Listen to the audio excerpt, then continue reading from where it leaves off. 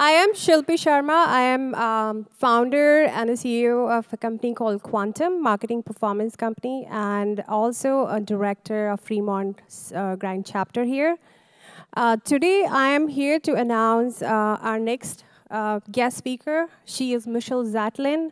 She's co-founder and head of user experience. And people who don't know what uh, Cloudflare does, uh, I'm sure people know what bouncers do, right? So Cloudflare is a digital bouncer. Anybody who maliciously attacks web property, they takes care of it. Uh, quick facts on uh, Cloudflare. It's, uh, it's taking care of 2 million web properties uh, um, right now, has raised $72 million uh, from VCs like NEA, Union Square Ventures, and got a unicorn status last year. So uh, when I talk about Michelle, uh, she has uh, done a BS uh, Business in Science and Chemistry, has a MBA from Harvard, um, worked with Google, Toshiba, and has built two successful startups before this. She, she has an amazing experience. Uh, last year, she was uh, nominated at top 15 women to watch in tech by Inc. magazine.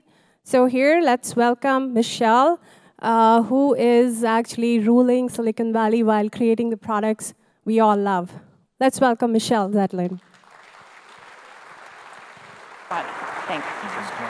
And Brian Park from our Startup Grind chapter, Washington, D.C. Thank you. How's it going, Michelle? Great. How are you? Great. I'm doing really well. You guys have taken over Redwood City. That's awesome.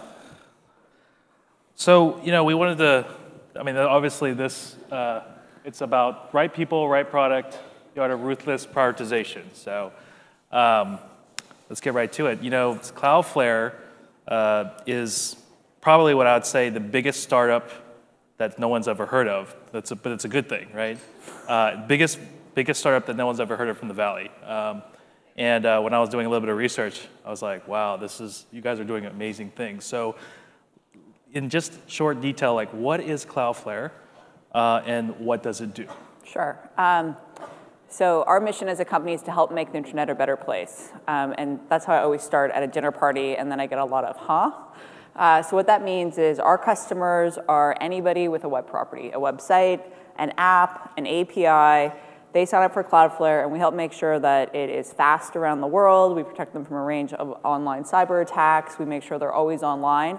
So think global performance, cybersecurity, availability, load balancing, all the things that happen behind the scenes to make sure the internet works as consumers we want it, we make easy for any, any, any application talking over the internet um, possible. And so we have over 4 million uh, web properties who've signed up and 7,000 sites who sign up a day. And so everyone from um, startups use Cloudflare to big companies like Reddit, Yelp, uh, New York Times. And so it's a, it's, yeah. it, it really is catered, it's a service that anyone can use. Sure. Uh, so before we go on, um, anybody have any questions uh, for Michelle here, please go to uh, ask.startupgrind.com uh, and uh, we'll uh, look at those questions.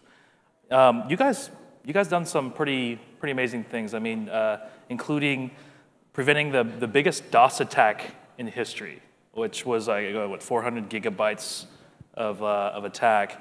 And then the other thing, um, you guys uh, just recently won a Crunchie Award uh, as the best uh, enterprise startup. Um, but in fact, you probably have a better startup that's coming up soon, right? Um, probably about a month, uh, a month and a half from now. Mm-hmm. So, but I mean, what's really amazing that you beat out the, the GitHubs and the Slack of the world. So uh, that's pretty amazing. So let's talk about the beginning days. How did you start? This company from the business plan competition at Harvard? Sure. I mean, I literally started in your seats.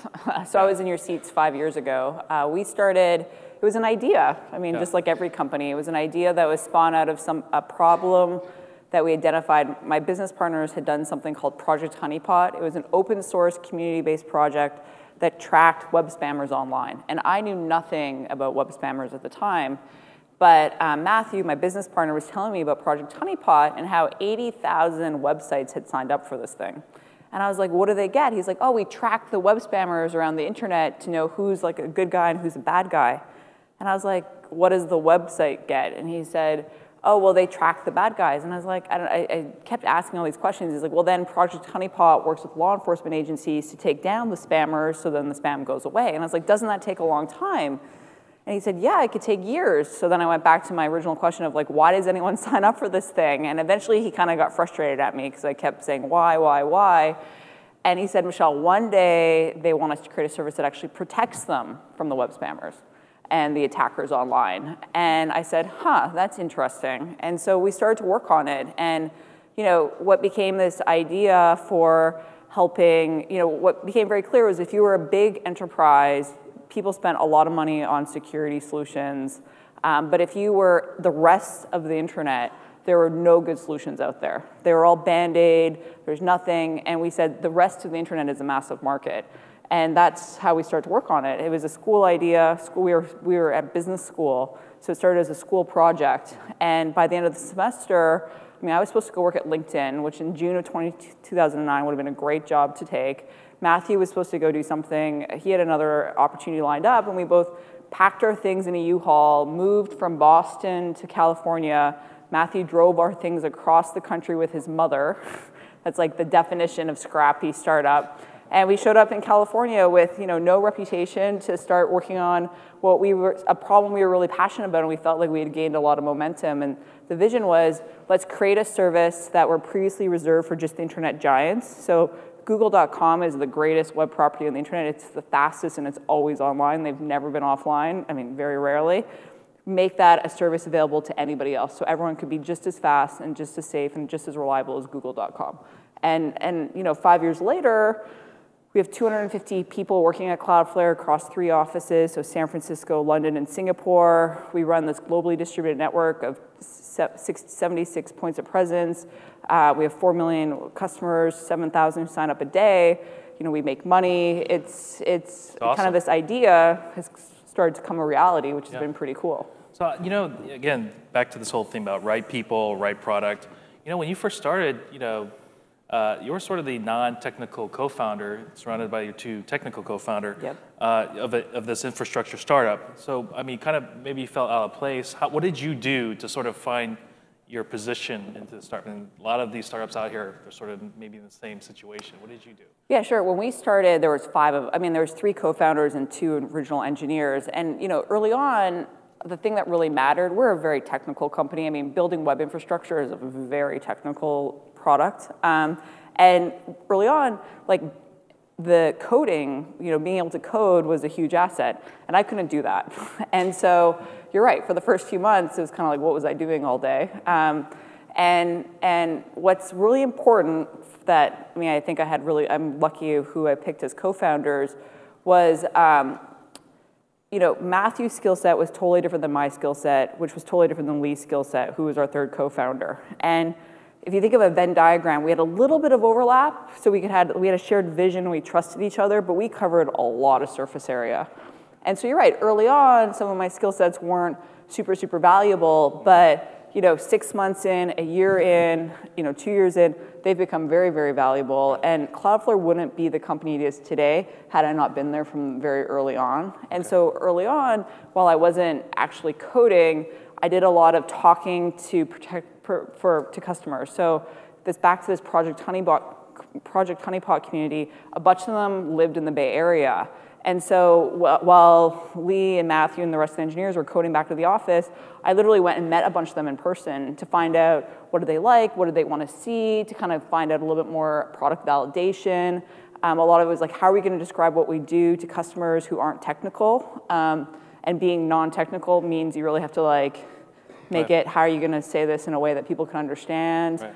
Um, and then as soon as we had the sixth person, seventh person, and this is really important, all of a sudden I realized that everyone on the team, we only had seven people, didn't know what each other were doing. And I was like, if seven people don't know what they're doing, this is a problem. And so we started this kind of planning exercise where we'd go to, we'd plan in three week increments because three weeks in startup life is neither too short nor too long. It's almost perfect. And every three weeks, we'd say, okay, what is everyone doing? And there'd be like three to five sticky post-it notes assigned to each person on a big whiteboard.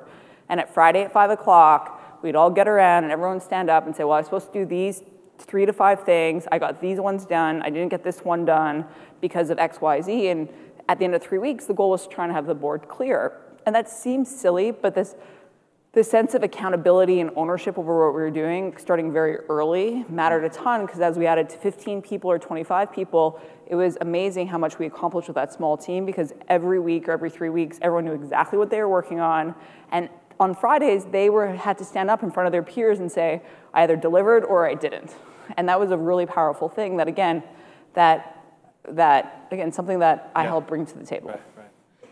Uh, Wanted to quickly, because we only have six minutes here, Sure. and this topic is a really hot topic that I want to talk, because I feel like you are the right person to talk about this. Uh, Again, right product, the wrong people. And, you know, what I'm talking about here is this whole Apple and FBI case. Um, Okay. so in the past, uh, you've uh, uh, so you have past exposure to this, obviously, with uh, a startup that you guys um, acquired called CryptoSeal with Ryan uh, Lackey. He's a, it's a YC-backed startup. Yep. Had to basically shut down his startup because the NSA was demanding the crypto keys. And so you were you guys were sort of like in the middle there. So what is sort of your stance of Apple? Like, what I mean, do you think they should be complying with with the FBI?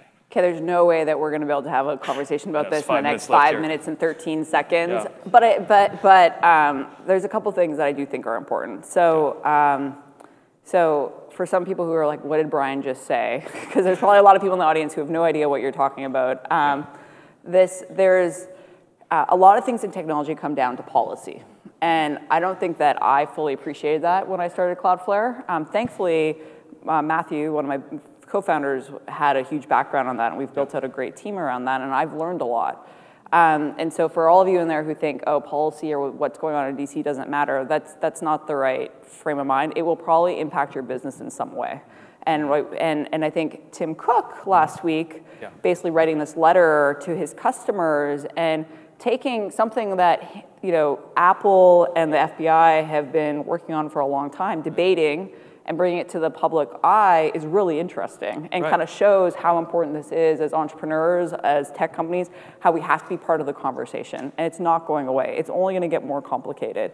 And so, um, uh, you know, in this particular discussion, and again, and, and thankfully, I, it's not my pay grade to have to decide. Sure. You know, Cloudflare strongly believes in strong encryption. And so what does that mean? So if you are interacting on the internet, we believe that H, doing things over HTTPS is better for the world at large than not. And so as a company, we make that very simple. Our customers, we make super simple to adopt that, and we're very for strong encryption, and we think long term, that's better for all of us as citizens Yeah. um, than not, and then having weak encryption. And so that we feel pretty strongly about. what's really, really what's really interesting about this Apple case is, I mean, they're not being asked to break the encryption, right? Let's be clear. On the iPhone, they're not asking to, to break the encryption. They just want to disable the functionality to um, uh, to disable this, you know, that after 10 wrong passwords, so it prevents it from breaking, right? So it's, it's a very Yes. specific, Use very case. na- narrow use case. And in fact, Bill Gates had chimed in this morning saying that, yeah, Apple should uh, comply with the FBI. This is when policymaking is really tricky. When you have these really edge cases, it seems easy to get hung up on what you should do. Right. The, the, the hard thing is, is it rarely becomes just a one-off. And, and what, what, how I've heard it described before is like it becomes a slippery slope. Where, okay, well, in this case, should, if Apple gives the data, but then in this case they should or shouldn't, and all of a sudden you don't have a good, a good framework for anyone to operate within. And if you aren't clear, then that makes it really hard for companies and citizens to operate, right? You need to be very clear. And so the edge case makes it very, very tricky. Um, you know, I think what, um, again, in this case, there's a couple things that you know I think are impressive. The fact that Tim Cook and the FBI are talking about it publicly, and that we live in a country where we can have this discussion publicly. Yeah. I mean, I think that's amazing that they can do this and no one's getting thrown in jail or going to get charged, and that we can actually have a public debate about it, and you can have an opinion, and that my mother can have an opinion, and I think we'll end up in a better place because of that. Right. That's really, really, really important. Yeah. Um, the other thing that, again, I, back to all of you in the audience, is this is going to go to the Supreme Court, likely, um, if they don't come to a resolution.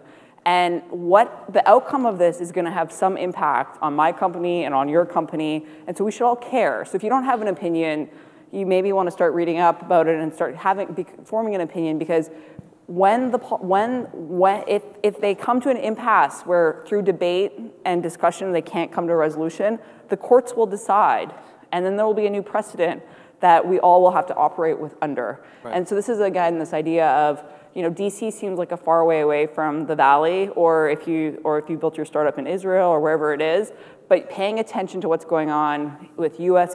Um, policymaking, EU policymaking, because there's a lot of really interesting things going on there too, is up to all of us as an entrepreneur to to to embrace because it does impact our businesses, whether you think you want, whether you thought you were going to become interested in policy or not ultimately you do.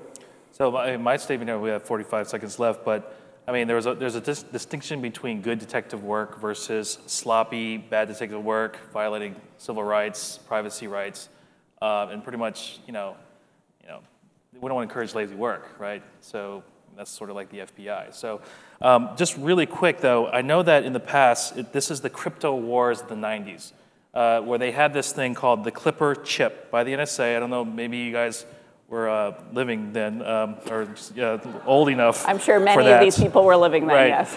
But it was essentially a back door uh, where the NSA said, hey, all chips need to comply with this Clipper um, chip. Uh, and obviously, that they were going to take the crypto keys and put it into escrow, and in case they needed it, they'll, they'll, they'll, they'll get it. Uh, obviously, the government lost that. So, does it look like, even if it goes up to the Supreme Court with Apple, it's going to look like the, the courts are going to favor Apple? Again, this is why these things are really complicated because this is again uh, history repeats itself often. Um, and again, as entrepreneurs, we learn a lot of lessons from past entrepreneurs that we're inspired by. But again, on the policy side, a lot of things repeat itself, and so this is a good example of where where where again when you rationally you're like, oh, this actually makes a lot of sense, but then in practice, the key got law got got leaked and lost, and got into the hands of the wrong people, mm-hmm. and and basically worst case scenario happened. Right. And so you can easily use that exact same learnings to this situation, which is why Apple is taking such a strong stance. And again, whether you agree with Apple or not, at least we live in a country where people can take strong stances and we can have a debate so we actually end up in a place that, that's better for, for us as our economy and, and sets us up for success in the future. So I think that there are a lot of interesting lessons to be learned from the past. Awesome. Okay. Well, thank you for coming out, Michelle. Great. Thank you. Thank you very much. Awesome. All right. Thanks, that's Ryan. awesome. Okay. Yeah.